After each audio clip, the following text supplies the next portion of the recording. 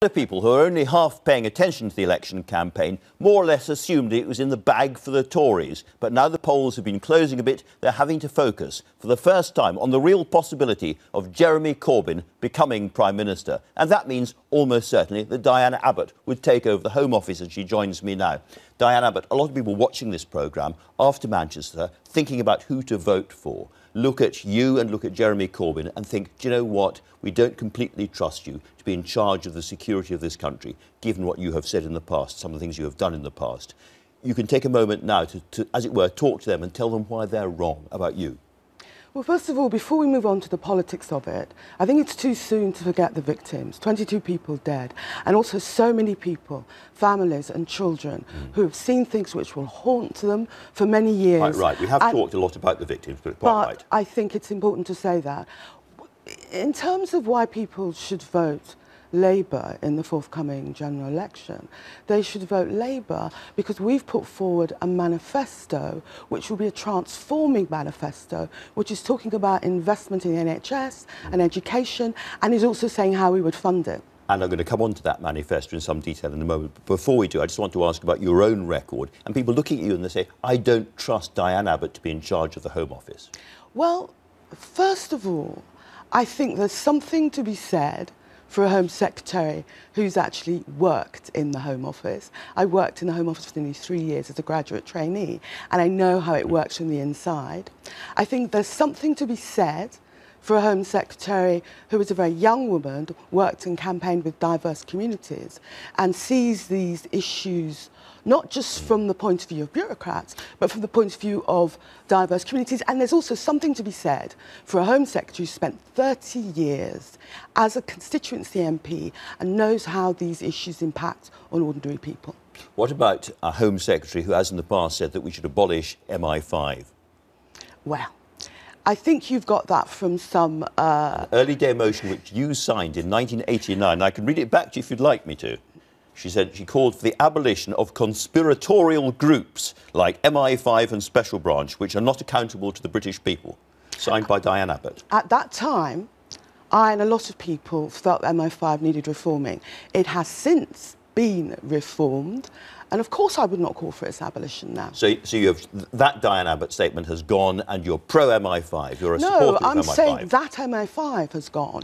It's been reformed. It's a different MI5, and that's why so many of us are able to support it now. And you fully support it because also in your career in the House of Commons, you voted again and again, around 30 times, against anti-terrorist legislation for different reasons. What you have to remember is that on many of those occasions, I and Jeremy Corbyn were going through the lobby with Tory MPs. Theresa May herself voted against the 2005 Prevention of Terrorism Bill. She voted against ID cards and she voted against control orders without right. sufficient legal legal intervention. And my point is this, nobody votes against these things um, without a lot of thought. And the view of myself and Jeremy and most members of the Conservative Party, including David Davis at the time, was this was counterproductive, counter-terror legislation. Okay, you, so, and so some of the positions, some of the positions we voted for were upheld in the courts. Let me come on to your bit. You say nobody votes against these kind of things without a lot of thought. Shortly before 9/11, you voted against prescribing Al Qaeda as an organisation. That was a huge mistake on your part, was it not? Have you actually read the legislation we were voting on? I have read the legislation and I've looked at the, the addendums as well. And what the legislation brought forward was a whole list of which I have here. organisations, some of which some people would argue were not terrorist organisations, but dissident organisations. Well, and to say that because Okay. I, to say which, which ones? Because I've got the list here. Al Qaeda, Egyptian Islamic Jihad, the Armed Islamic Group, Harakat Mujahideen, the Liberation Tigers of Tamil, uh, the Palestinian Islamic Jihad Group, Islamic Army of Aden, the Abu Nidal Organization, the Kurdish Work, Kurdistan Workers' Party. Which of these should not be prescribed? The titles are one thing, but the reality of some of those groups, whether they were dissidents in their country of origin, and that's why some of us were not willing. Had it, had they taken out Al Qaeda as one thing, that would have been something. But you know, this is a, this is a group of really dangerous organisations from all around the world, many of whom have killed a lot of people. Lashkar-e-Taiba carried out the 2008 Mumbai attacks, which killed more than 170 people. That was on the list. This was, a, you know, no list is perfect, but it was a pretty good list, and you voted against prescribing those groups because there were groups on that list which I deem to be dissidents rather than terror organisations. You have to give people credit for thinking about how they vote. As I said to you earlier, we're hearing about all this anti-terror legislation that Jeremy and I voted against, but we're not hearing that the Tories voted against some of the self-same legislation, particularly control orders and detention without trial. Well, there is the list. Which of those organisations do you think not, should not have been prescribed? Because, you know, you voted against the whole lot being prescribed because presumably some of them you thought were okay. I'm just wondering which ones you think are okay. It's not that I thought they were okay. I thought that they were dissident organisations. You can have the list you know, if you'd like it. No, I don't need it, Andrew, because the point is, at this point, less than a week after those people died in Manchester, we should be talking about how we, we go forward to make this country safe. But to know how to go forward, we have to look behind and look at people's records, which is why I've been talking about you. Mm. Now, Jeremy Corbyn got into some trouble with Andrew Neil in his interview when he said he had not met the IRA, and he was then photographed lots of people from the IRA during the course of his career.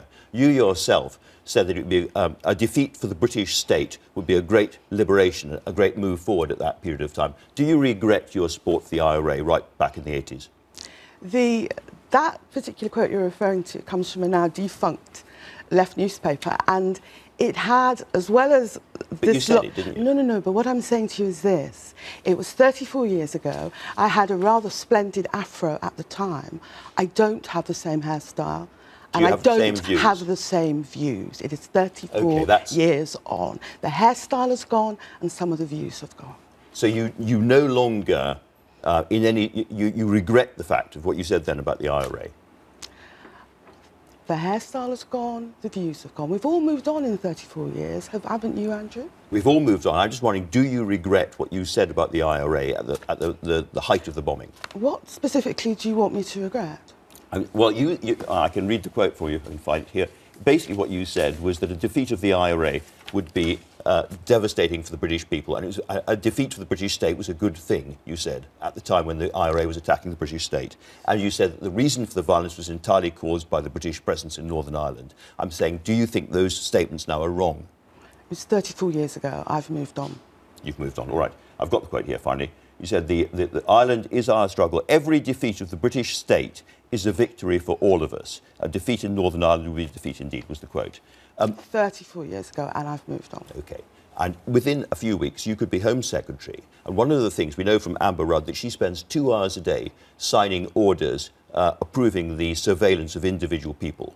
Would you be prepared to sit there now and do that? Of course, if, if the evidence was presented to me. Remember, I was a Home Office civil servant. I know how these things work. So if the files are put in front of me, the evidence are put in front of me, of course I'll sign orders mm. for surveillance. That's very much part of the job. OK, let's turn to another big issue, I think, today, which is um, encrypted services on, on WhatsApp and other um, mobile messaging devices. Do you oppose or support um, forcing those companies to reveal what they're doing? I think the problem with a lot of these companies, they're American companies, and they feel very strongly about the right to free speech and so on. But we do have to work with them to allow us to access some of these messages. There is an issue about end-to-end -end encryption. We have to work with them. And if they're not willing to cooperate, we do have to consider what further action we could take. But I would hope, given the tragedy in Manchester, that these companies would want to work with the British government. Okay. Let's turn to something else. Again, I'm afraid reported in today's papers, which is that as recently as 2010, you told a dinner party we shouldn't put innocent people's DNA on the database. Fair point. And we shouldn't even have guilty people on that database either. Again, as somebody who's going to be Home Secretary, do you still support that statement? What you have to remember is I'm also a constituency MP, and I'd had to deal with some very difficult cases of children children who'd not actually been convicted of anything, who had their DNA on the database, and I had a huge struggle to get their DNA taken off. So yes, we do need to be careful about being taking children's DNA. Children have not You- been convicted you of a didn't use crime. the word children there. Yes, because I don't know where that story comes from.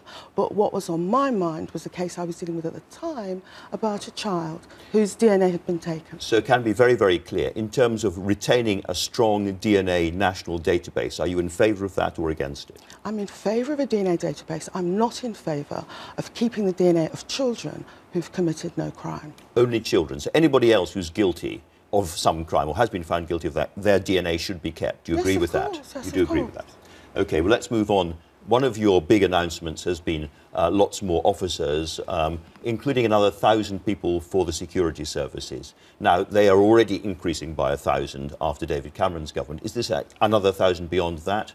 No, which, but that thousand hasn't been recruited. And what we're saying They're doing is, it at the moment, they say. They say, but they haven't recruited them yet. So we're saying that we want to recruit 10,000 extra police officers, community police officers, because we think community policing is key. We want to recruit 3,000 extra firefighters, 3,000 extra prison officers, a thousand, as you say, people in the security field, and 500 more border guards, Okay. because we think protecting our border is so important. So you know the next question. How much will the extra, how much extra are you going to spend on MI5?